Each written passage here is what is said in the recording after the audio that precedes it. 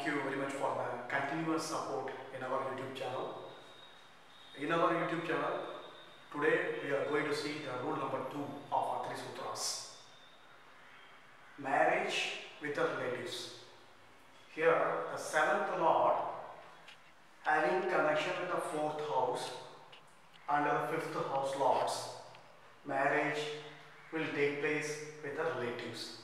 Here, the seventh lord having connection with the fourth house and the fifth house lords, marriage will take place with the relatives. And uh, one more value will have to be get added here.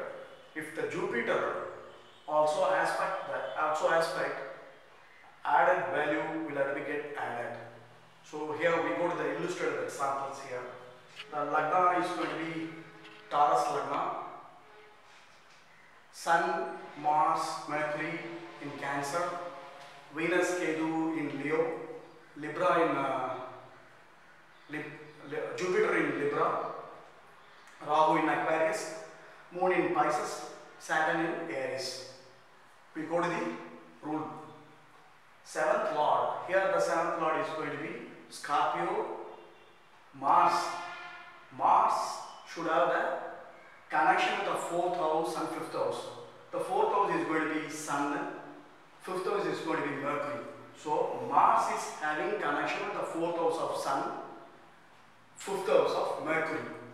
So the marriage took place with the relatives. Again I will repeat it here. Seventh lord having connection with the fourth house and fifth house. Here the seventh house, Scorpio will be the seventh house. Seventh house lord is going to be Mars. Having connection with the fourth and fifth house. Fourth house is going to be Sun. Fifth house is going to be Mercury. So Mars is having connection with the Sun and Mercury. So the marriages took place with the relatives. If you are having any doubts, please raise register in comments. Thank you for your continuous support. We will meet you soon again.